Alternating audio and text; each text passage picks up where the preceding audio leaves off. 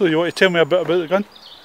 Okay, um, entire thing is 3D printed. Um, we use G&G Armaments um, M4 Raider, uh, the internals from that gun for the to get the mechanism right. Uh-huh. Um, I think it was a total of about 200 hours of printing. Um, as you can see, it fits any Picatinny rail uh, attachments. Um, there is some work to do with uh, this prototype, um, fixing up the gaps and um, getting the magazine to sit in properly. Uh-huh. Uh, but other than that, it's just it's a showpiece, something Yeah. completely different. hmm And is the gun design based on anything? A Uh, it's, movie? ba- it's based on the Rorsch X1 from Battlefield 4, Right. uh, which is a rail uh, sniper rifle.